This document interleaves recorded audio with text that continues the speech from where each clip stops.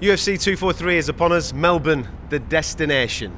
Can't wait for this. This is what the middleweight division wants, doesn't it? The Battle of Australasia. Yes, a striking extravaganza as well. You know, you've got obviously Robert Whittaker, someone that has got a, a, a real diverse skill set, more a traditional martial arts skill set though, and then Israel Adesanya is, is, is like the, the, second coming of the Matrix. Now Anderson Silva's stepped down from the podium. Uh, uh, he's a very special athlete, but a very a contrast of styles. I mean, obviously Whittaker's going to come moving forward and throw a barrage of punches, but Israel Adesanya's got he's got that, that bit of witchcraft that kind of holds people back because they're not exactly sure what's coming, and he's got them that, that snaky move. You know what I mean? I love watching both of these guys. I just don't know how it's going to play out. I'm gonna have to spend some good time thinking mm. about this. You must be you must be torn because because Nick basically picked Izzy out as he's one to watch about three years ago before he hit the UFC. 2018, he was my prospect to watch. Mm. And then he got signed, yeah. And then obviously he lights up the UFC and he keeps telling me every time he fights, I told you so. I told you so about this kid. Yeah. However, you're a big Robert Whittaker fan as well. I am. Robert Whittaker's in my top five pound for pound on the planet, walking the earth, baddest,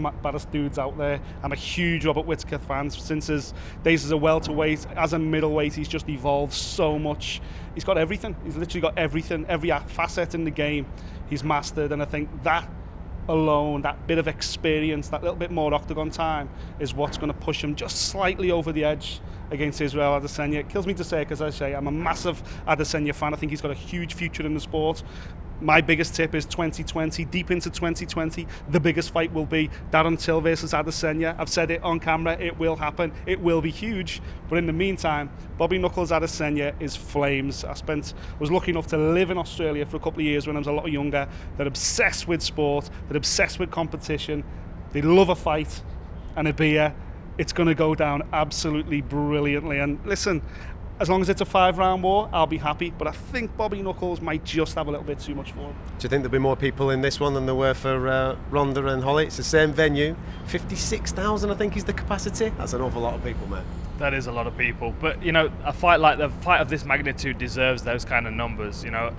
And with them both being such likable people, superstars, very, very talented fighters both with the potential of being a world champion for a long time, that arena is going to fill up and it's going to be wild in there. What a huge moment for like Australasian MMA though as well. Like you know, it's New Zealand against Australia. It's like their thing. Like they've got a UFC champion and Bobby Knuckles and Robert Whittaker, and now they've got a top contender as well. They're dominating the middleweight division.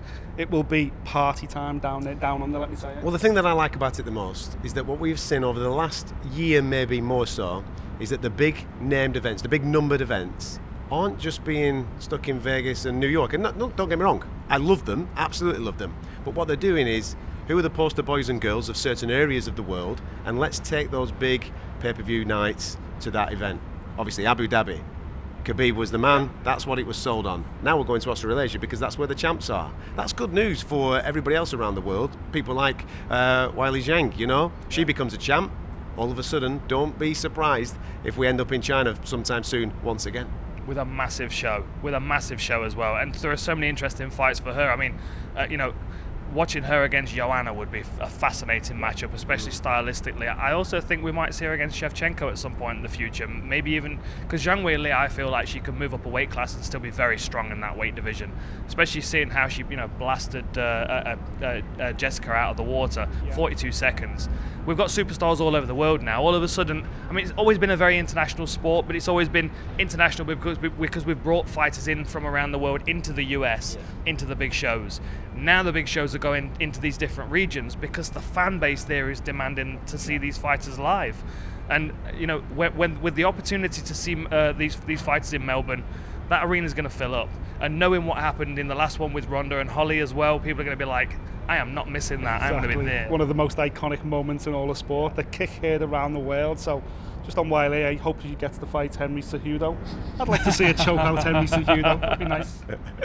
Uh, make sure you're tuning in to UFC 243 from Melbourne, the big one for the middleweight championship of the world against Izzy or Bobby Knuckles. It's up to you to decide, but you can see it on BT Sport. Yeah.